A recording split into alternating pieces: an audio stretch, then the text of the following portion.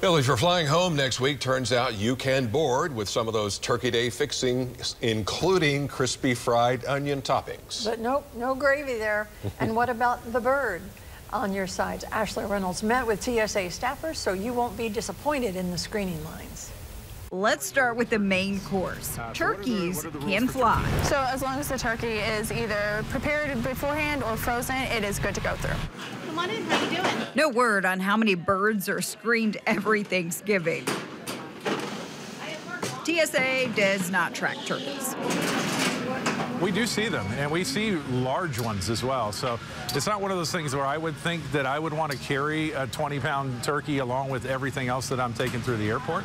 But some people just want to go ahead and have it with them. So your veggies, your fruits and stuff, they can all go in your carry-on bag, so these would be good to go as well. But not yeah. canned. The cranberry sauce, it's a little bit of a solid, but it's liquid gels or aerosols that go through, so this is kind of a gel liquid, so it would also not be able to go through since it is the over 3.4 ounces. If you can pump it, pour it, spread it, or spray it, and it's more than 3.4 ounces, you should pack it in your checked luggage. Gravy, checked bag. Pie filling, checked bag. Already made pies and cakes, carry on.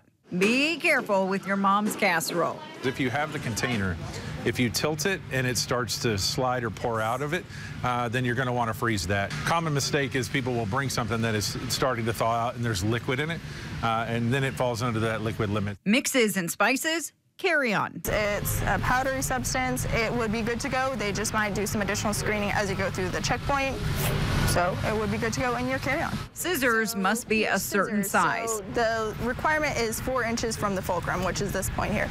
But a general rule of thumb would be it might be better sticking in your check bag just so you might not get stopped as much going through. No knives, none. This is the thing.